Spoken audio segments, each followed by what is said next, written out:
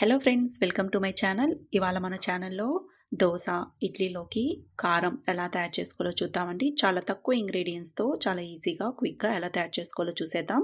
Half table spoon ధనియాలు half table spoon జీలకర్ర mixie జార్లో వేసుకోవాలి.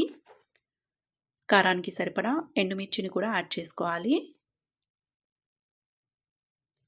మన టేస్ట్కి సరిపడా సాల్ట్ యాడ్ చేసుకొని ఈ మిశ్రమం అంతా కూడా కోర్స్గా బ్లెండ్ చేసుకోవాలి. ఇప్పుడు ఇందులో పావు టేబుల్ స్పూన్ పసుపు వన్ కప్ టమాటా ముక్కలు. ఇక్కడ నేను దాదాపుగా మూడు మీడియం సైజ్ టమాటాలను తీసుకున్నాను.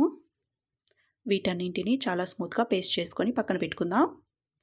ఇప్పుడు ఈ కారానికి మనము పోపు పెట్టుకుందాం. పోపు దినుసులు జీలకర్ర ఆవాలు కరివేపాకు కొత్తిమీర.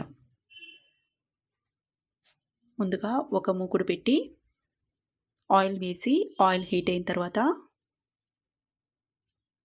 ఆవాలు జీలకర్ర వేసి చిటపటలాడనివ్వాలి. ఇందులో కరివేపాకు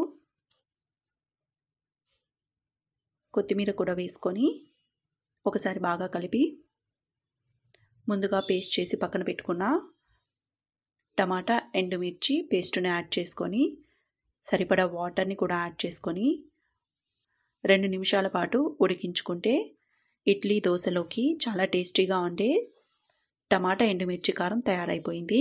ఈ కారంని మీరు కూడా ట్రై చేసి ఎలా కుదిరిందో కమెంట్ బాక్స్లో షేర్ చేసుకోండి.